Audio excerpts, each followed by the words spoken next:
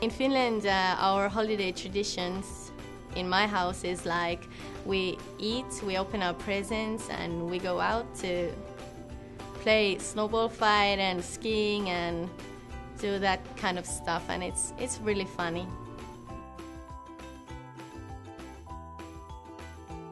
I have a boyfriend, and we have been together eight years now, and the funniest moments of our relationship probably is that when we were together in the army, he was my corporal, and it was all always funny to see him yelling and giving orders to other soldiers. So that was quite fun.